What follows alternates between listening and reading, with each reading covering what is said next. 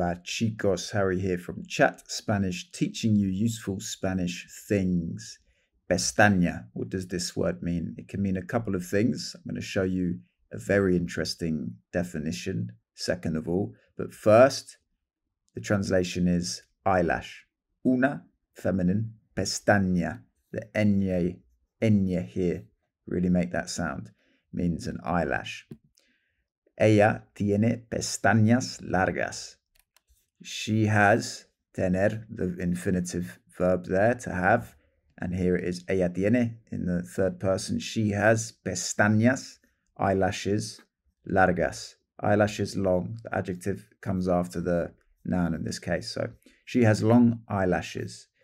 And now, this is a really useful thing to know. Pestaña also means a tab on the computer. So when you are on the Internet Explorer and open up a few different tabs at the top of the screen, so Google, YouTube, Chat Spanish website, even though I don't have one at the moment, they're going to be called pestañas. So that, that in Spain, they're eyelashes, right? Which is a really uh, great way of putting it. So, cierra las pestañas de tu ordenador. Close, command here, cierra las pestañas, close the eyelashes, close the tabs, because it's relating to a computer here. Close the tabs on your computer. And there we go. Hope you found that useful. Please do like this video, leave a comment.